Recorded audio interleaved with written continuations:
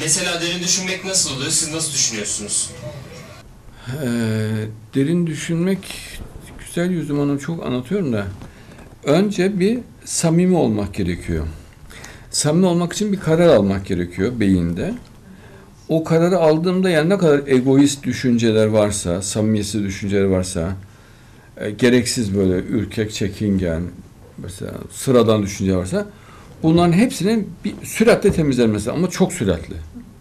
Yavaş yavaş olmaz. O gittim mi e, insanda bir ferahlık olur. Hissedilir bu. Ya bütün bedende hissedilir. Bir ferahlık. E, buna sekinet denir. Yani kaslar yatışır. Kafa açılır. Ondan sonra derin düşünme şöyle başlar. Allah kastemezse uzayda görüyorsunuz. Uçsuz bucaksız bir büyüklük meydana getirmiş. Rahatça anlaşılıyor kitaptan falan baktım anlaşılıyor. Biz orada toz kadar falan bir şeyiz dünya. E, atomlar da bir o kadar küçük. Yani o şeye göre bir o kadar küçük. Fakat atomların her biri de bir alem. Evet. Yani bir alem. E o zaman tabi Allah'ın büyüklüğü hemen anlaşılıyor gücü. Her evde bir televizyon kumandası var. Her evde televizyon var. Milyonlarca, milyarlarca ev var. Ee, yani düşünmek için çok geniş imkan var.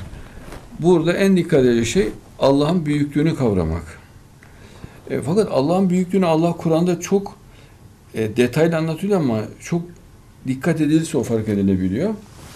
E, yüzeysel bakıldığında anlaşılmaz. İşte onun için derin düşünmek denebilir.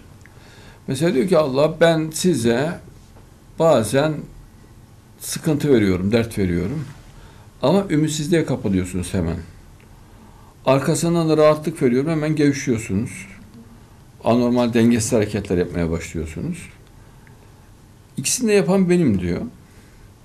Ama siz bir aksi bir şey oldu mu onu birisi yaptı zannediyorsunuz diyor Allah. Ya başka biri yaptı zannediyor. Halbuki ben yapıyorum diyor.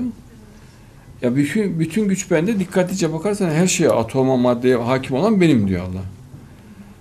Neden benim gücümü unutup hiç alakasız, gücü olmayan, şuuru olmayan şeylere öyle güç e, tevehhüm edip yani böyle e, düşünüp e, kendinizi boş yere sıkıyorsunuz diyor. Sonra birden de şımarıyorsunuz arkasından diyor. Dağıtıyorsunuz diyor. E, bunu yapmayın. Bu normal bir hareket değil diyor Allah. Dürüst normal bir hareket değil. Güç, gücün bende olduğunu düşünün ve anlayın diyor. E şimdi bu derin düşünmektir. Mesela bak Kur'an'dan açıyorum herhangi bir sayfa. Mesela diyor ki Allah eğer 44 Tur suresi 44 şeytan Allah'tan. Eğer gökten bir parçanın düşmekte olduğunu görseler bile üst üste yığılmış bir buluttur derler. Mesela umursamıyor. Gökte taşlar yığıldı, umursamıyor. Halbuki düşünmeler için yapıyor Allah. Yerde sürekli çatlamalar ve büyük boşluklar mevcut. O da diyor tabiat olayı diyor. Depremler hiç görülmemiş derecede, dünya tarihinde görülmüş şekilde artıyor. O da olabilir diyor. Halbuki hadislerde belirtilmiş. Mehdi'nin çıkış alameti. Düşünmeler için yapıyor. O da önemli diyor. Mesela yıllara göre söylüyor Allah. Ya Allah yaratıyor ve insanlara biliyor. 2120 gibi mesela bir göktaşının dünyaya teğet geçeceği söylüyorlar. Çok büyük bir göktaşı. 2120. Nereden biz hesap ettik de öyle diyor. Ya ben sana söyleyeyim direkt bodoslamadan bindirecek dünyaya. Ne hesabınız yanlış. Yok diyor sürtüp geçecek diyor. Bekle sen. Yani derin düşünmemenin o kadar çok yönü var ki. Bak Allah diyor ki onun gördüğünü gönül, gönül yalanlamadı. Yani insan vicdanı yalanlamadı. Yine de siz gördüğü şey üzerine onunla tartışacak mısınız? Andolsun onu diğer bir inişte görmüştü. Sidret-i Münteha'nın yanında diyor. Mesela o burada da peygamberin vicdanına güvenin diyor. Yani o size yalan söylüyor. Hiç hayatını yalan söylemedi. Niye yalan söylesin diyor Allah. E, bunların hepsi yani binlerce çeşidiyle derin düşünmektir.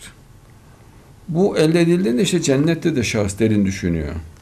Mesela oradaki havuzlar, çeşmeler, bardaklar onlardan zevk alıyor. Eğer derin düşünmeyi bilmezse cennet onun için bir şey ifade etmez. Yani haberi bile olmaz.